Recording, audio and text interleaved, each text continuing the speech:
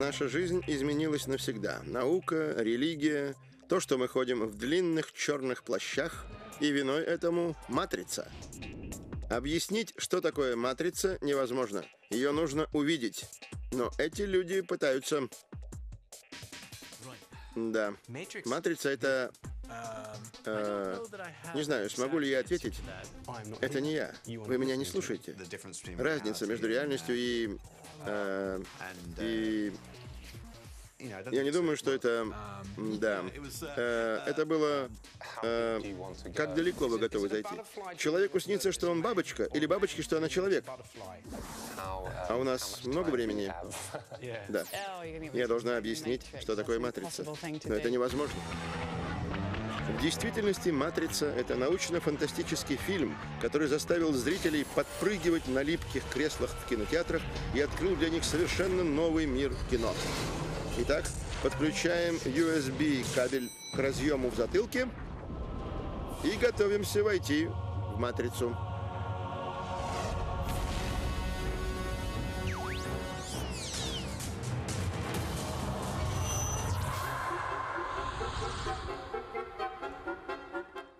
Меня спасла «Матрица». Первый фильм «Матрица» вышел на экраны в 1999 году и был столь успешен, что за ним последовало два продолжения, массовая компьютерная игра, 9 мультфильмов и тысячи интернет-сайтов. Он также стал золотой жилой для производителей длинных черных плащей, сутан и солнцезащитных очков с полусферическими стеклами. Когда вышла «Матрица», все как будто с ума посходили. В этой программе мы выясним, как «Матрица» изменила наш мир, как она повлияла на жизни отдельных людей, вдохновила нас на новые научные открытия и заставила задуматься о природе реальности. Мы расскажем о революционных спецэффектах, которые изменили законы тяготения и остановили время. И увидим, как компьютерная графика плавно перетекает в досконально продуманные сцены с кунг-фу и сложные трюки. Да, это потрясающе. Мы попытаемся разобраться в моде матрицы и в том, почему поколение бесправных подростков облачилось в кожаные плащи и темные очки. Мы расскажем, как матрица позаимствовала стиль у католической церкви, а церковь воспользовалась этим, чтобы привлечь молодежь. Мы отыщем истоки матрицы в японской анимации и комиксах, вдохновивших режиссеров. Мы увидим, как научная фантастика матрицы превращается в научный факт и поговорим с исследователями, которые были под таким впечатлением, что теперь работают над тем, чтобы подключиться к мейнфрейму. И мы ответим на главный вопрос этого фильма. Какова вероятность того, что мы живем внутри компьютерной симуляции? Поговорим с нашим специальным корреспондентом, который проверяет реальность. Здравствуйте, я Дэвид Айк.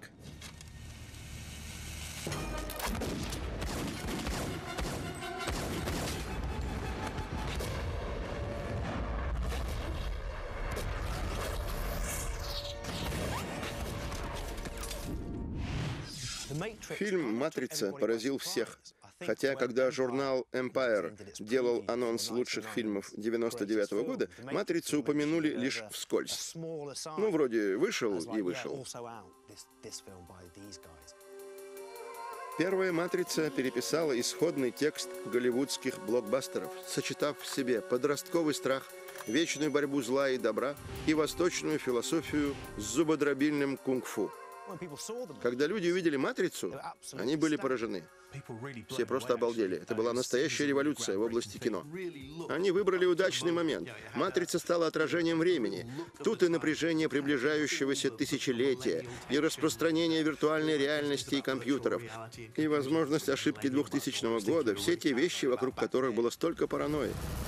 Киану Ривз отлично подошел на роль Нео, спасителя человечества и последней надежды постапокалиптического кошмара. Земля захвачена машинами-роботами, которые используют людей как живые батареи для производства энергии. Они воткнули в них трубки и внушили им общую галлюцинацию, похожую на реальность. Я думаю, многие аспекты были заимствованы из научной фантастики. Таких фильмов немало. Заслуга «Матрицы» в том, что она объединила их все и произвела на свет нечто лучшее. «Матрица» вышла за рамки научной фантастики и расширила аудиторию, рассказав о борьбе за равновесие технического прогресса и духовной жизни людей. Это не столь далекое будущее. Я думаю, принимая во внимание реалии современного мира и скорость технического прогресса, «Матрица» и другие хорошо сделанные научно-фантастические фильмы уже не кажутся нелепыми и притянутыми за уши. Они рассказывают о том, что действительно может случиться. Итак, если фильм прав, мы будем лысыми, сонными и жить внутри компьютера, не зная об этом. Давайте посмотрим, как люди-матрицы оказались в подобном кошмаре. Во-первых, машины стали умнее, из-за отсутствия лени усерднее и успешнее, чем люди. Во-вторых, человечество не обрадовалось тому, что его сместили с вершины. В-третьих, люди решили уничтожить то, что не смогли понять, и закрыли небо тучами, чтобы лишить машины солнечной энергии. В-четвертых, машинам это не понравилось, и они поработили людей и превратили их в живые батареи для производства энергии. В-пятых, для облегчения процесса они создали для людей виртуальную реальность, решив, что она должна быть похожа на Сидней в Австралии. Далее в программе. Как стать похожим на Киану Ривза. Как уворачиваться от пуль и подсоединиться к компьютеру, не выходя из дома. К моей нервной системе подсоединены 100 электродов. Меня спасла матрица. Успех блокбастера измеряется несколькими способами. Например, можно выяснить, сколько блоков разбито. Другими словами, сколько билетов продано. А можно выйти на улицу и посмотреть на людей. Если на них та же одежда, что и на героях вашего фильма, значит вы молодцы. «Матрица» — очень стилизованное кино. Ее мода и стиль оказали огромное влияние на культуру.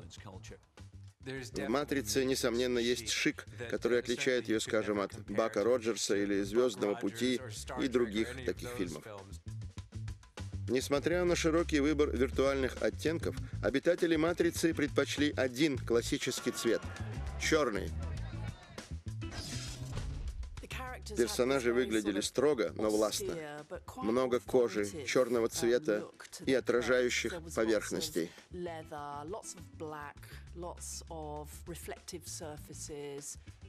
Я бывал на собраниях, где все были одеты как Нео, в длинные черные кожаные плащи. Выглядит это впечатляюще. Черный — это стильно, он хорошо смотрится. Еще один важный аксессуар матрицы – пара солнцезащитных очков. Темные очки есть во многих научно-фантастических фильмах. А очки. Я целый месяц искал очки, как у Киану Ривза. Зрители всегда смотрят актеру в глаза, чтобы понять, что он чувствует, что он думает, напуган ли он. И темные очки – отличная вещь, когда эмоций быть не должно. Запутались? Вот пара советов, как стать похожим на Нео. Его внешний вид складывается из тщательно сбалансированных компонентов. Во-первых, старайтесь не показывать эмоции. Сам костюм позаимствован на 25% у злодея из вестерна, на 35% у угрюмого подростка и на 45% у католического священника. Плюс дорогие дизайнерские очки, которые нужно носить постоянно, независимо от освещения и даже в них спать. Одну минуту. А при чем здесь священник? Черные сутаны появились много сотен лет назад, задолго до Матрицы. Это отец Джонатан Мейер из епархии архиепископа Индианаполиса. А еще его называют отец Нео.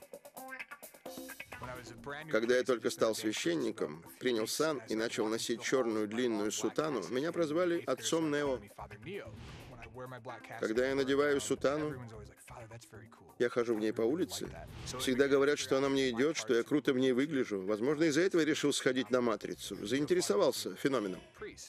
Нео боролся со злом, и священники борются с грехами и злом. Что касается концепции другого мира, то с точки зрения христианства другой мир тоже есть. Это новая жизнь. Мы говорим о лжи этого мира, об обмане сатаны. Здесь много сходства. Пока отец Мейер проводит параллели между Библией и Матрицей, его посетило божественное вдохновение. Почему бы не использовать влияние Матрицы для того, чтобы привлечь молодых людей в лоно церкви? Он надел сутану, сфотографировался для плаката и назвал свою компанию «Католическая церковь. Перезагрузка». Итак, духовенство решило привлечь людей с помощью одежды. Первой реакцией, а сначала я показал плакат епископу и представителям духовенства, которые ничего не знали о Матрице. Я показал им плакат и спросил, что они об этом думают. Первое, что я услышал, было «Нет, мы не знаем, что это, это не наше». Но когда я показал его молодежи, им понравилось. Они были не прочь так одеться, заполучить эту вещь в свой гардероб. Матрица настолько поразила отца Мейера, что он теперь не выходит из дома без фирменных очков Нео. Длинное черное одеяние всегда производит впечатление. Матрица использовала то, что было у церкви уже две тысячи лет. В 1999 году уже были спецэффекты, и изощренные киноманы считали, что знают их все. Но режиссеры «Матрицы» подняли компьютерную графику на такой уровень, что поразили даже самых циничных кинозрителей. Компьютерная графика существовала и до этого, но еще никто не использовал ее так, как братья Вачовские. То Киану медленно откидывается назад, и пули, пролетающие мимо него в замедленном движении, это было сенсацией. Подобного еще не было, это была революция. Поклонники комиксов и японских мультфильмов, братья Бачевские, решили скрестить технологии анимации с кадрами с натуральным движением. Режиссеры хотели поразить зрителей необычными визуальными эффектами, и они реализовали свои планы с помощью руководителя отдела спецэффектов Джона Гейтера. Это помогает раскрыть персонаж Нео. Мы видим, что он может творить чудеса, преодолевать препятствия, делать то, на что способен только сверхчеловек. А как вы перемещаете камеру, когда Киану летит вниз – Вначале была концепция реактивных саней. Совершенно нереальные концепции автоматической системы камер. Вы даже представить не можете. Магнитные рельсы, самая быстрая в мире железная дорога. Наконец их осенило. Одной скоростной камерой здесь не обойтись. Возьмите несколько камер, окружите ими Нео, а потом смонтируйте кадры в последовательный киноряд – Создайте зрелищный компьютерный фон, придумайте броское название, и можно стрелять. В пяти сценах с пулями в первой матрице фон виртуальный, то есть полностью сделанный на компьютере. Сейчас столько спецэффектов, технологии развиваются, и зрителя все труднее удивить, но им это удалось. Говоря о наследии «Матрицы», конечно, это сцены с пулями. Это первое, что приходит на ум. Ее спародировали все, кто только мог. Это верно, все. Даже наша команда.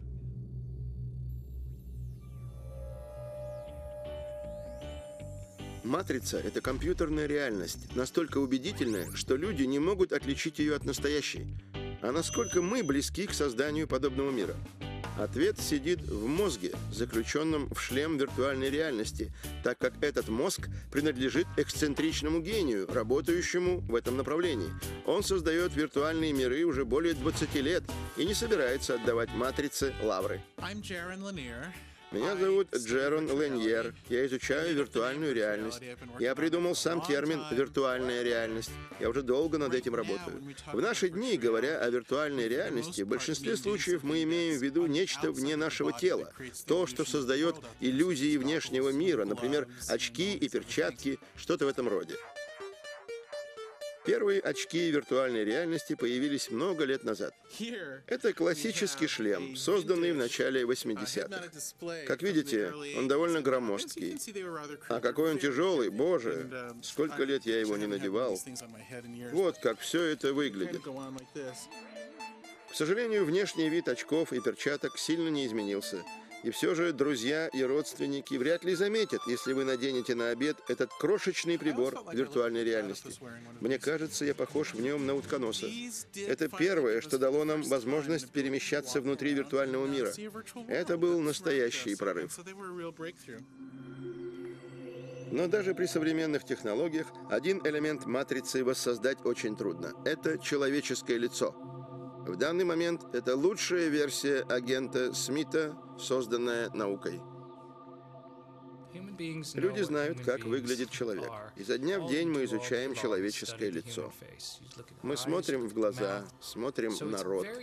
Очень трудно воссоздать человека, не имея пространственной записи его движений. Пространственная запись людей — это сфера Джерона.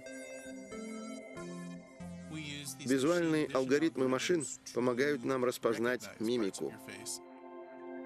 С помощью компьютерных программ Джерон фиксирует выражение человеческого лица и воссоздает их в компьютере. Его цель — преодолеть пропасть между виртуальными людьми и человеческими лицами. Это наглядная иллюстрация того, как трудно показывать людей людям. И чем совершеннее вы хотите сделать картинку, тем больше хлопот. Чем ближе к финишу, тем труднее. Крестный отец виртуальной реальности Джерон рад, что «Матрица» раскрывает эту тему, но считает, что недостаточно полно. Они выбрали боевые искусства. Но почему они не превращаются в животных или в музыкальные инструменты? Во что-нибудь интересное? Всегда одно и то же. Слишком много драк, недостаточно превращений в необычные предметы. Персонажи «Матрицы» действительно не превращаются в музыкальные инструменты, но могут превращаться в медицинские. В фильме «Матрица. Перезагрузка» Нео спасает умирающую Тринити, делая ей прямой массаж сердца. Мы не сможем повторить процедуру из «Матрицы», где он массирует ей сердце. Но это виртуальный мир, и если там можно летать, то операции изнутри там тоже возможны. Доктор Браун еще не научился превращаться в поток зеленых японских иероглифов и засовывать руку людям в грудь. Но он придумал, как использовать виртуальную реальность для обучения врачей и хирургов. Святой Грааль виртуального мира — это сегментация. Сегментация дает возможность различать типы тканей. В виртуальном мире, если вам нужно осмотреть кость, вы можете снять с нее мышцы и просто осмотреть. Компьютерные программы доктора Брауна представляют трехмерную модель человеческого тела и позволяют хирургам осмотреть каждый слой кожи, кости и органы по отдельности. Очень скоро мы сможем делать виртуальные вскрытия. Не нужно будет вскрывать трупы в медицинских лабораториях. Так что если вам хотелось пощупать чей-нибудь желчный пузырь, виртуальная реальность поможет вам осуществить эту мечту. Мы можем воссоздать эластичность разных тканей в компьютере, чтобы научить врачей различать ткани на ощупь.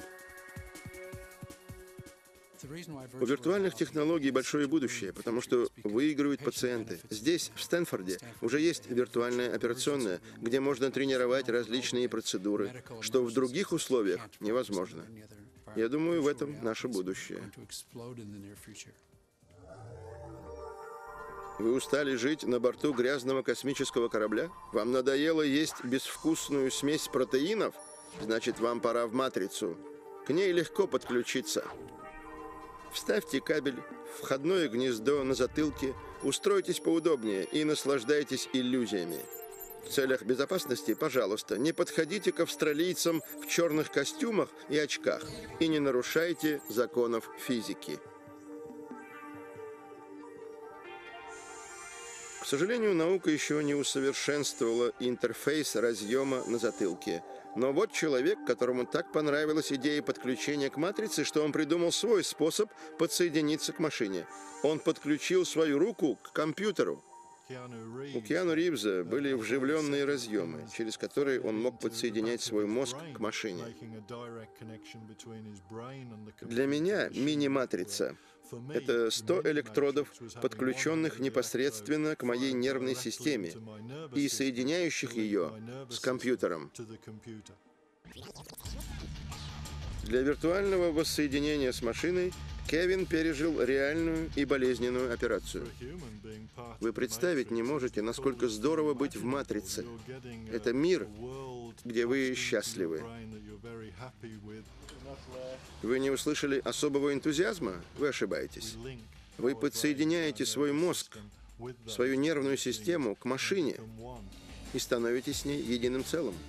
Имплантаты Кевина позволяют ему обмениваться сигналами с компьютерами. До полного растворения в матрице еще далеко, и пока Кевин использует технологии в бытовых целях. Мы соединены со всем домом. Если я два раза щелкну по лампе, моя нервная система отправит сигнал, и свет зажжется. Я повторю это для тех, кто смотрит нас по телевизору.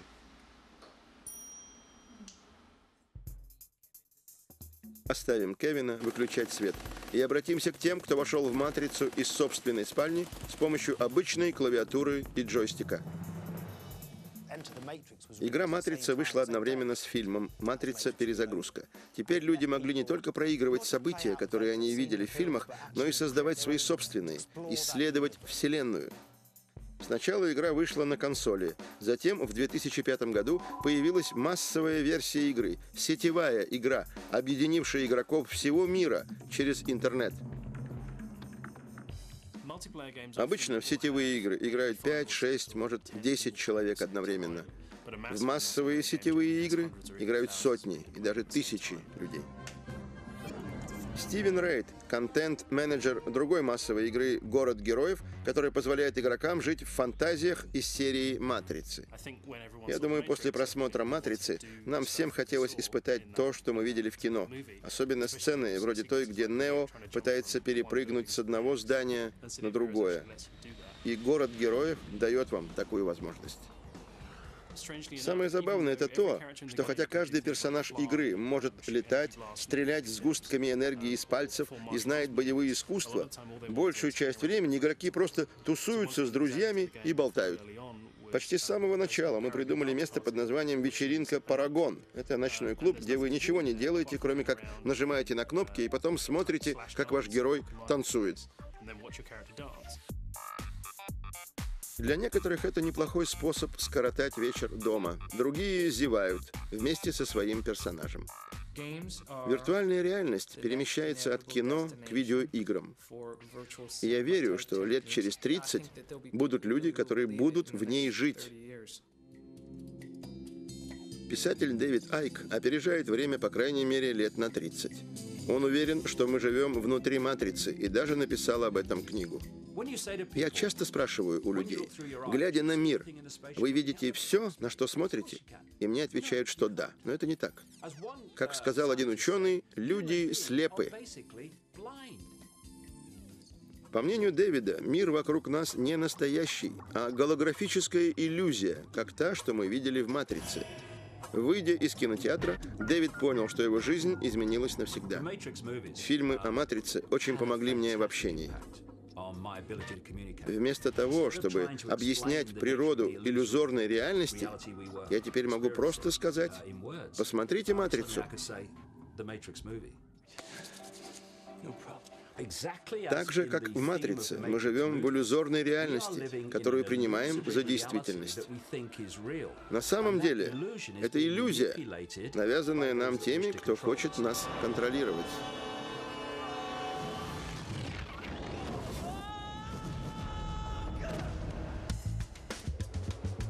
По версии Дэвида, мир контролирует группа избранных. Возможно, они похожи на ящеров, но не будем об этом. Важно то, что они угнетают человечество, заперев его в иллюзорном мире матрицы. Когда мы вырвемся из матрицы, из этого голографического интернета, который питает нас иллюзиями, тогда мы поймем, что живем в тюремной камере и просто не видим решеток.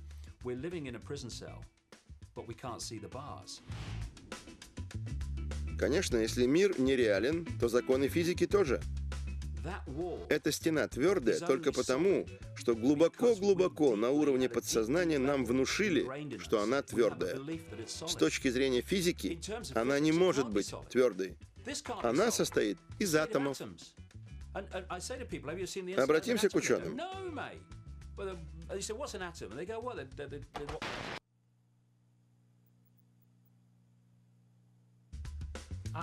Лично я не верю, что живу в «Матрице».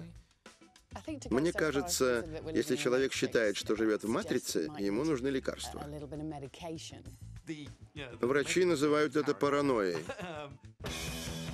Далее в программе. Сцена с близнецами и парень, решивший стать женщиной.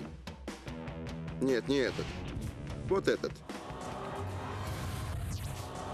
Меня спасла «Матрица». Когда «Матрица» вышла на экраны в 1999 году, режиссеры фильма были практически неизвестны. Так каким образом скромным братьям удалось воплотить это мессианское, апокалиптическое видение будущего? Это люди-загадки, о них мало что известно. Я не знаю о них ничего, кроме того, что они стали богатыми людьми. Они любят комиксы и ненавидят публичность. Вот что нам известно. Одного зовут Энди, второго Ларри. Они из Чикаго. Братья Вачовские выросли на японских мультфильмах и гонконгских кино с драками в стиле Квентина Тарантино. Могу представить, как они сутками сидят в темной спальне и читают комиксы. Мне кажется, это скорее такие ребята, чем продавцы, рекламирующие товар.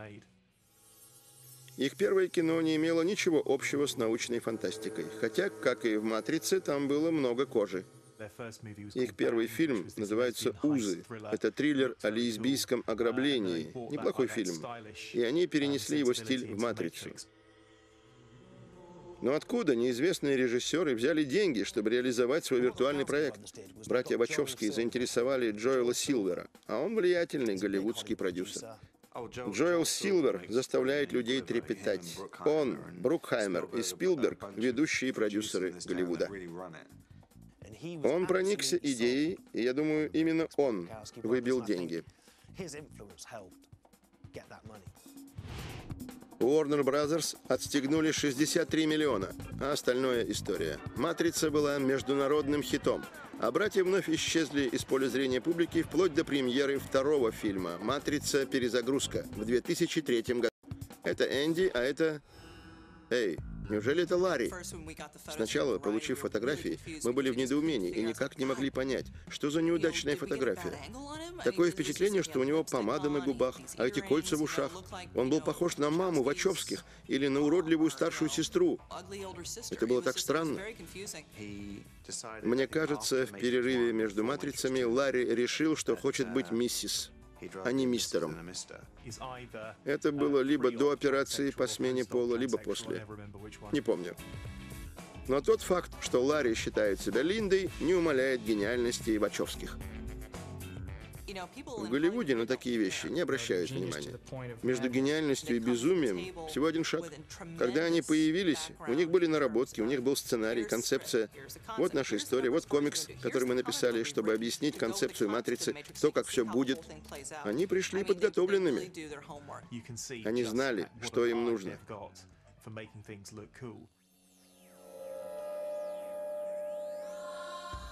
Это японский мультфильм 1995 года «Призрак в раковине». И не говорите Вачовским, они его видели. Если посмотреть аниме, особенно «Призрак в доспехах» и «Акуру», вы увидите, что у них много общего с «Матрицей». Вачовские черпали вдохновение в японских комиксах манго и снятых по ним мультфильмам. Они хорошо их изучили. После выхода «Матрицы» фанаты аниме возмущались тем, что Вачовские украли идеи и заимствовали элементы «Призрака в доспехах». Вы здесь, майор? Да, я вас слышу. Есть несколько интересных и интригующих параллелей. Там тоже есть персонажи с компьютерными имплантатами на затылке. Есть сцены, где люди перепрыгивают с одного здания на другое, сцены, где люди прячутся от пуль за колоннами. Некоторые говорят, что темные очки тоже взяты из «Призрака». На самом деле, персонажи мультфильмов носят очки, чтобы сэкономить на анимации, не рисовать, как они моргают. В «Матрице» персонажи носят очки, опять же, для того, чтобы не было видно, как они моргают, что вполне естественно при вспышках от выстрелов, потому что у них должен быть крутой вид. И нам не нужно искать доказательства. Вачовские предоставили их сами. Представляя проект продюсерам и актерам, они показали им «Призрак в доспехах» и «Акуру» и сказали, это то, что мы хотим сделать, но с живыми актерами. Окно! Огонь! Режиссер «Призрака в доспехах» Мамору Осии сказал, «В заимствовании идей нет ничего плохого, если вы создаете из них что-то новое и уникальное. Если сравнить «Призрака» и «Матрицу», очевидно, «Матрица» не копирует его полностью. Они сделали много интересного и отнеслись к материалу с уважением. Основа действительно заимствована, но в кино много того, чего нет в мультфильмах. Итак, братья Вачовские черпали вдохновение в Японии, но главного героя они стали искать в Голливуде. Им нужен был кто-то чисто выбритый, приятной наружности, способный сыграть роль мессии, кто-то вроде Киану. Киану выбрали, чтобы сделать фильм кассовым. Им нужен был симпатичный актер. Судя по предыдущим фильмам, особого актерского таланта у Киану нет. Он не очень интересен в размеренных драмах с неторопливым сюжетом, но когда вокруг него что-то происходит, и он оказывается в роли бедняги, попавшего в водоворот событий, на него приятно смотреть. Он тихий, спокойный, сконцентрированный. Некоторые говорят, что он похож на манекена. Я бы сказал, что он привносит в кино некую нереальность. То, как он ходит в этом длинном черном плаще, его отношение к технологиям, его неуверенность в ситуации, в которой он оказался, это все его конек. Выбор был удачный, но при этом неожиданный. Уверенно, многие думали, Киану Ривз? Никогда. Киану Ривз снялся в Джонни Мнемонике, похожем на «Матрицу», в смысле идей. И этот фильм с треском провалился. Я не знаю, почему братья Вачовские выбрали парня из Джонни Мнемоника. Но они его выбрали и не прогадали. Киану Ривз в главной роли — это умный ход, потому что он привлек огромную женскую аудиторию. Обычно женщины не ходят на научно-фантастические фильмы. Киану Ривза навеки запомнят как Нео, так же, как Уильям Шетнер навсегда останется Кирком. И это забавно, потому что, мне кажется, у них сходный актерский стиль. Экранные драки были всегда, но «Матрица» равносильно черному поясу в боевых искусствах. Взяв надоевший всем боевик, решительным ударом Скорпиона Вачовские перебросили его в новый век, замерев на мгновение в воздухе для большего эффекта. Фильм о кунг-фу. Кино о кунг-фу. Кино о кунг-фу. Подобные фильмы уже снимали на Дальнем Востоке, но в Голливуде зрители увидели такое впервые. Представляю, какая паника охватила тех, кто снимал боевики, когда они увидели «Матрицу», потому что какие бы драки они ни поставили, «Матрица» все равно была лучше. Многие заинтересовались боевыми искусствами именно благодаря «Матрице». В какой-то степени «Матрица» возродила кино с боевыми искусствами. Она показала, как сочетать великолепную трюковую работу с передовыми технологиями киноиндустрии. Те фильмы, которые начали снимать в Китае, «Дом летающих кинжалов» и другие, возможно, они появились бы и без «Матрицы», но именно «Матрица» показала, как это делается, научила ценить работу на тросах и так далее. Эдриан и Нил Рейменты, два британца с черными поясами по боевым искусствам, сыграли в «Матрице. Перезагрузка». Благодаря своему профессиональному опыту они идеально подходили для этих ролей. До этого они работали в сериале «Лучшие дома», где у них были ежедневные стычки с ведущей Кэрол Вордерман. Мы знали жанр кино, мы знали, что там будет много боевых искусств. И у нас была пара трюков. Через две недели нам позвонил агент и сказал, что нас взяли в следующую «Матрицу». Что? Но получить роль – это только начало. Дальше сложнее. Вместе с другими актерами братья прошли интенсивный курс тренировок. Никто из актеров не занимался боевыми искусствами до «Матрицы». Для них все было в новинку, и им здорово досталось. Были и ведерки со льдом, и ушибы, и растяжения, и каждодневный массаж. Говорят, как-то раз Киану полдня пролежал в ванне со льдом. Так и было, и все из-за тренировок. Все актеры очень много тренировались. Даже нам с нашим опытом было нелегко. Ванна со льдом? Ох уж эти голливудские звезды и их прихоти. Что бы подумал светило боевых искусств Иен Ву Пинг? Он привнес в «Матрицу» свой знаменитый стиль ушу. У нас была возможность работать с такими хореографами, как Йен Ву Пинг, который специализируется на ушу, и он привлек своих ребят, работающих в том же стиле. Мы также занимались кикбоксингом, боксом. Да, боксом. джитсу. В современных боевых искусствах важно знать несколько стилей. Итак, с драками ясно. Что еще революционизировали братья Вачовски? Как насчет голливудской погони на машинах? «Матрица. Перезагрузка» по праву гордится одной из самых зрелищных погонь в истории кинематографа, не уступающей тем, что мы видели во французском «Связном» или в «Пуле» Стива МакКуина. Прежде всего, нужна была дорога. Им не разрешили перекрыть крупную магистраль ни в Штатах, ни где бы то ни было, потому что они все перегружены. Все, кроме той, что в Огайо. Но относительно пустые магистрали Огайо показались им слишком маленькими, и они отправились в Калифорнию, где есть закон. Не можешь найти, тогда построй. Производственная бригада построила шестиполосное шоссе на закрытой военно-морской базе Аламеда в Сан-Франциско. Они переделали под шоссе взлетно-посадочную полосу. Это решило много проблем, потому что у нас был полный контроль. У нас были здания, мы открыли автомастерские. Места было достаточно. При длине в 2,5 километра шоссе стоимостью в 30 миллионов голливудских долларов вмещало до 170 машин. Здесь остались десятки кадиллаков, которые систематически разбивали на протяжении трех месяцев съемки. Нам не нужно было перекрывать движение, волноваться о пешеходах, о потерявшихся собаках и о чем-то в этом роде. Мы полностью контролировали ситуацию. Сцена погони помогла раскрыть персонаж Тринити. В Голливуде, где доминируют мужчины, женщинам редко удается блеснуть в ярких сценах в стиле экшен. Это Дебби Эванс. Она дублирует женщин в сценах на мотоцикле. Она сыграла Тринити там, где трюки выходили за пределы возможностей Кэрри Энн Мосс. Кэрри Энн научилась водить мотоцикл перед съемками в фильме. В фильме есть кадры с ней, но в большинстве сцен снималась я. Сначала режиссеры хотели сделать все на компьютере, потому что трюки были очень сложными.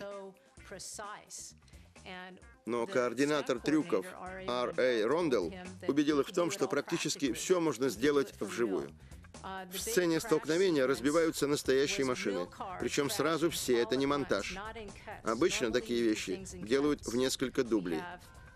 Мы выполняем один трюк, снимаем его, потом делаем другой, потом все это монтируется вместе. Но в данном случае все семь или восемь машин столкнулись одновременно. Сейчас многие режиссеры предпочитают делать такие вещи на компьютере, хотя во многих случаях такой необходимости нет. Когда зрители видят, что трюк компьютерный, мне кажется, многие теряют к нему интерес.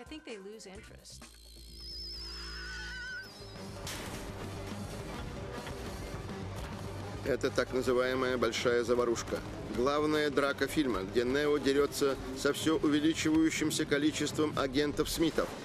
В первом фильме Смит был программой, которая работала на «Матрицу», но его программа мутировала, он вышел из-под контроля системы и теперь способен копировать себя, поражая другие программы. Другими словами, он превратился в компьютерный вирус. Этот человек не похож на Киану. Возможно, ему даже не идут темные очки, но у него сходная работа. Он тоже борется с вирусами. В «Матрице» агент Смит копирует себя миллионы раз, в точности как компьютерный вирус. И, конечно, Нео, персонаж Киану Ривза, борется с ним как антивирус. Его задача — победить вирус и уничтожить все его копии, иначе битва проиграна. То же самое делают компании, уничтожающие вирусы. Заходя в интернет, вы сталкиваетесь с тысячами вирусов. Мы пытаемся очистить компьютеры, сделать интернет безопаснее. Проблема вирусов появилась в середине 80-х, и она становится все серьезнее по мере того, как число подключенных компьютеров растет. Каждый день появляются все новые вирусы, злокачественные комбинации, создаваемые для того, чтобы украсть у вас деньги или информацию, или просто шпионить. В наши дни насчитывается более 100 тысяч компьютерных вирусов, и каждый месяц появляется до полутора тысяч новых. Большинство из них не распространяются сами, но некоторые распространяются. И когда вы подключаете незащищенный компьютер к интернету, я даю 50% на то, что вы подхватите вирус в течение 12 минут, даже если не будете заходить в электронную почту и на сайты. Подцепить вирус можно просто, подключившись к интернету. Sophos Labs есть специальный компьютер, прозванный горшком с медом, который притягивает вирусы из интернета. Для человека это скучный старый компьютер, но для вируса настоящая красотка. Компьютер получает информацию, но заражения пока нет. А вот и он. Это вирус.